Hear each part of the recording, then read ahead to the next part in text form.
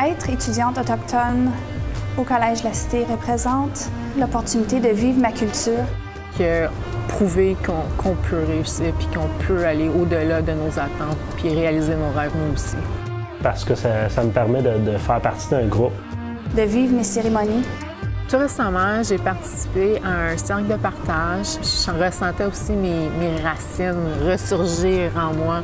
Bien qu'on est autochtone, on a plusieurs choses qui diffèrent selon les communautés. Sans l'éducation, on ne peut pas changer le monde. En faisant l'éducation de notre communauté, de notre culture, les gens ils ont une meilleure euh, compréhension de, ce qui on, de qui on est, puis en même temps, ça nous donne une meilleure compréhension de qui eux ils sont. Identifie-toi